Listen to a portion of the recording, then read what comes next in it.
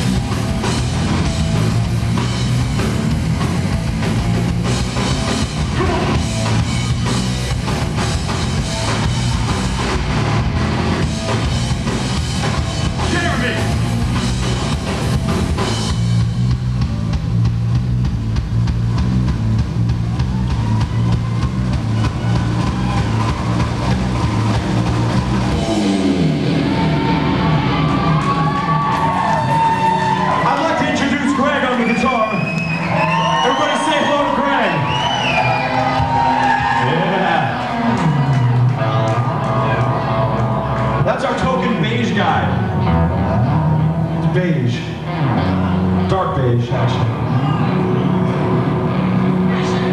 This one's called Distinctive. It's about being original.